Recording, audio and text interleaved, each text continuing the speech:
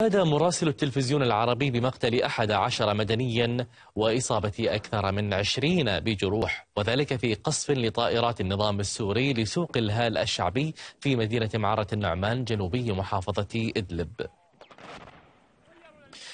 ومن إدلب ينضم إلينا مراسلنا خالد الإدلبي. خالد ما هي تفاصيل هذه الغارة الجوية التي آه يعني آه سقطت على على سوق الهال الشعبي في مدينة معرة النعمان وأحدثت قتلى وجرحى فيها.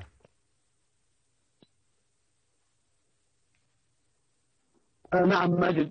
نعم ماجد. بداية ارتفع عدد الضحايا المدنيين في عموم محافظة إدلب إلى 15 مدنيا.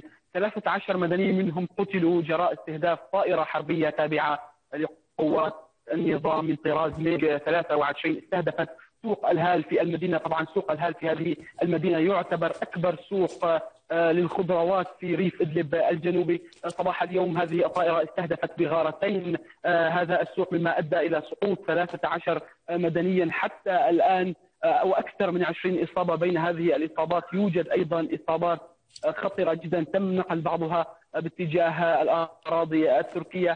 أيضا قتلت سيدة وأصيب أطفالها جراء قصف من طائرات النظام الحربية استهدف قرية الصرمان في ريف إدلب الشرقي. أيضا غارة مماثلة لطائرات النظام الحربية استهدفت أيضا سوق الهال في مدينة سراقب. قضى على إثره مدني وأصيب سبعة آخرون. تشم طائرات النظام الحربية والمروحية غارات مكثفة على منطقة ريف إدلب الشرقي وريف إدلب الجنوبي سجل حتى اللحظة أكثر من 40 غارة جوية منذ الصباح وحتى هذه اللحظات. في هذه اللحظات أيضا ترمي طائرات النظام المروحية براميلها المتفجرة على بلدة حيش في ريف إدلب الجنوبي.